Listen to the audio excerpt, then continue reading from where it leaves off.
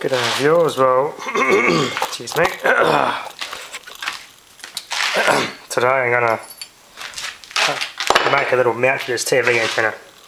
So I can bolt it to the pole and then, then it can be mounted to the, um, yeah, stick it up in the shed mount it to the pole like we do with a normal TV antenna. So that will go there. This is just an old exhaust bracket off an old, uh, yeah, old, uh, I don't know what car it was, can't remember.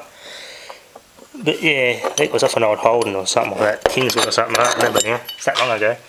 But yeah, I draw holes through the wood, and that would just poke through the handle, and the pole will go between there. They put two washers on this side, and bolt it down, and the pole will be in here, and it'll be held on.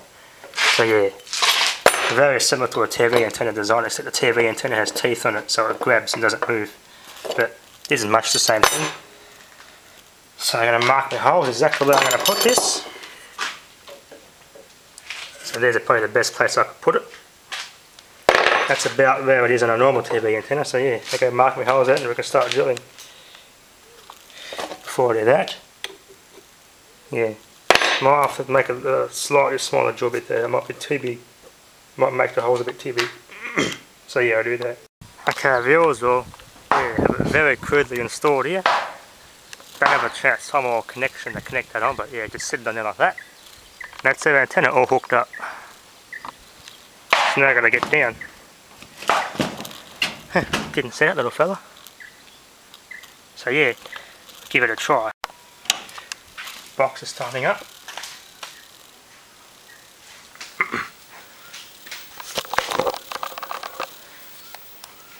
Saturday on. There you go.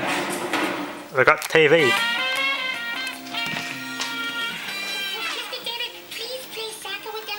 No. Uh, is that Ted's? Oh, it's not the best on 7.2. But that's just because of my connection. I need a good, good connection to get the um, signal to stay properly and strong and consistent.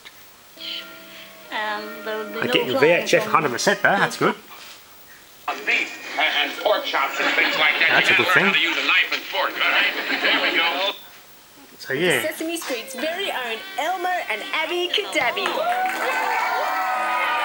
yeah, I just needs a bit of fine tuning and she'll, yeah, it's mainly that connection I gotta work on. I gotta add some sort of um, little transformer splitty things that those normal, like normal TV antennas have.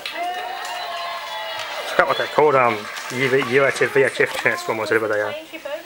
Get one of those and fit one into it and get a good connection and I should get, um, yeah, prime should come in strong and not break up. So let's go check the antenna out.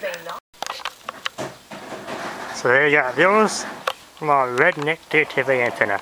Just a shovel handle with some trellis wire stuck in it. And a loop in the middle to get me the UHF or the VHF signals. That's it. So yeah, thanks for watching.